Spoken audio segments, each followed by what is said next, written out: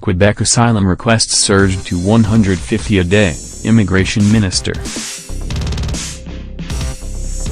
The Quebec government has asked Ottawa for help managing a surge of people who illegally crossed the U.S. Canada border and are now seeking asylum in the province. A day after Montreal's Olympic Stadium was turned into a temporary shelter for the growing number of asylum seekers, Quebec Immigration Minister Kathleen Weil said the province has the experience to face these situations, but needs more assistance from the federal government. Weil told reporters Thursday that the rate of people seeking asylum in Quebec spiked to about 150 per day in July and is on track to reach 12,000 by the end of the year. Of 4,345 people who crossed the U.S. Canada border between January and late June, 3,350, or 77%, entered into Quebec. Quebec is asking Ottawa to help set up a triage system along the U.S. Quebec border to see if some of the illegal crossers can be sent to other provinces while they wait for their asylum applications to be processed. The province is also asking for additional resources to speed up the processing of those applications, as well as help with finding more permanent accommodations for the claimants. The request we have for the federal government is to accelerate the treatment of cases to the maximum so that we can quickly know if their asylum request is accepted or not so we can better share expenses, Quebec Premier Philippe Couillard said Thursday. The Olympic Stadium was opened up to asylum seekers because Montreal's shelters are already full. Beds, Washroom facilities and food are available for up to 600 people at the arena, which will stay open until September.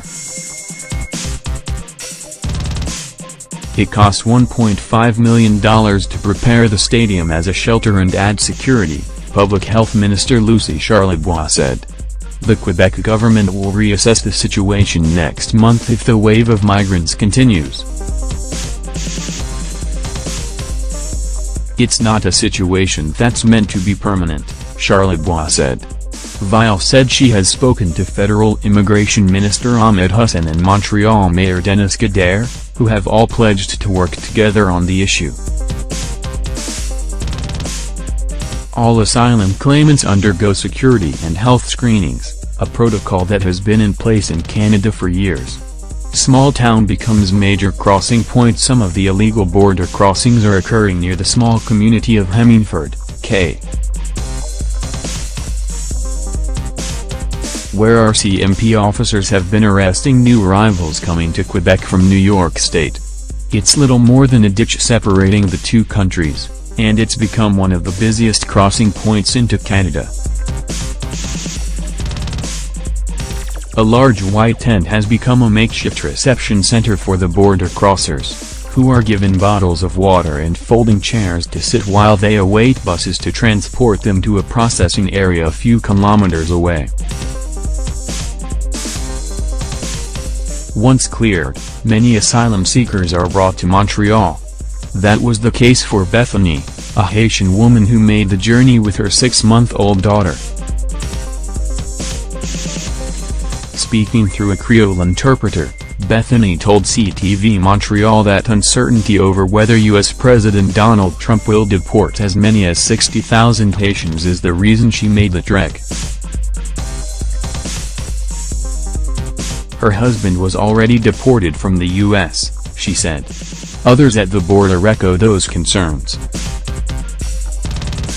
In the United States, the situation is very uncertain, one man said on Thursday. I left so I could have opportunities for a better life in Canada. Canada is a country that treats immigrants well, another said. Thousands of Haitians were given temporary protected status in the U.S. under an Obama-era policy made after the devastating 2010 earthquake in Haiti. If the policy isn't extended into 2016, the refugees could be forced out of the U.S. in January and sent back to Haiti, where many say they no longer have homes. Canada ended its own temporary protected status for Haitians affected by the earthquake last year. Of the claims from Haiti processed in 2016, 52% were accepted. But it's far from certain that those crossing into Canada will be able allowed stay, says refugee advocate Rivka Augenfeld.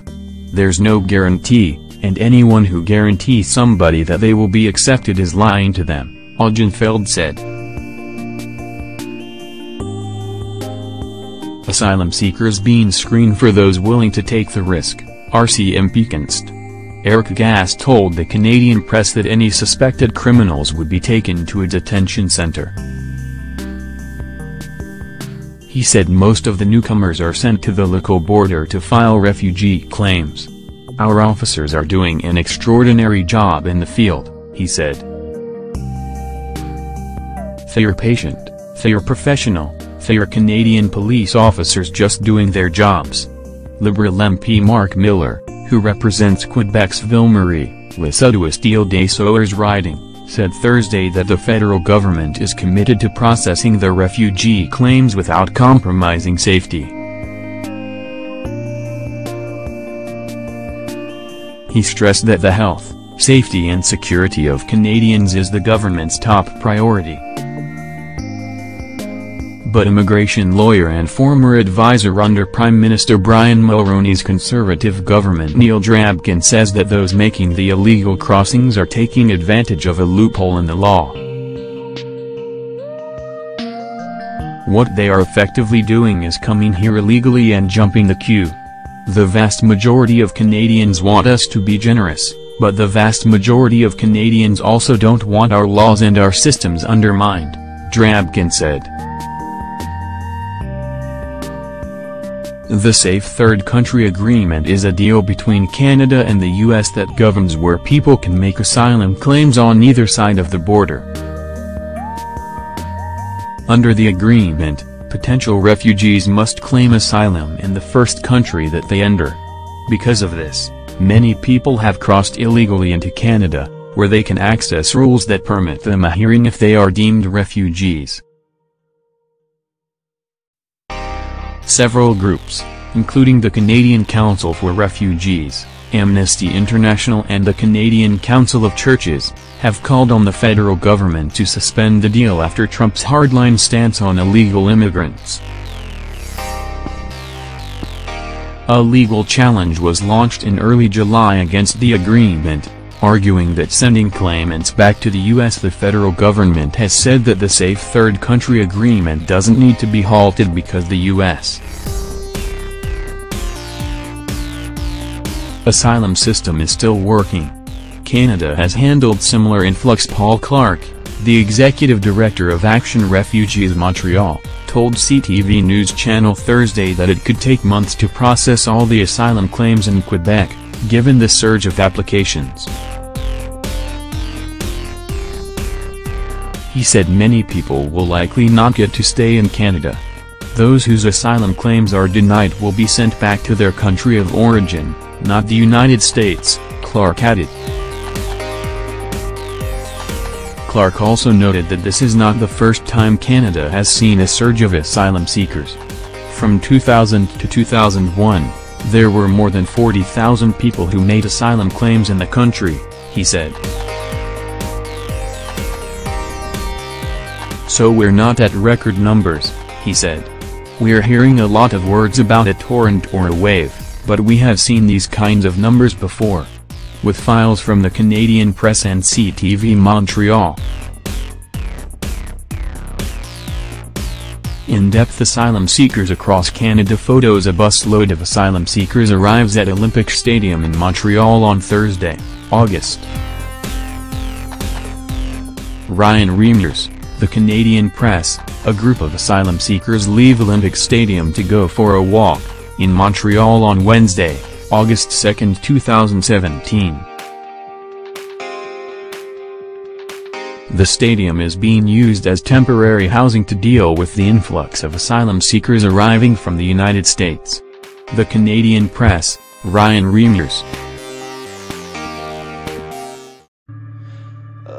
Lifetime in repeat.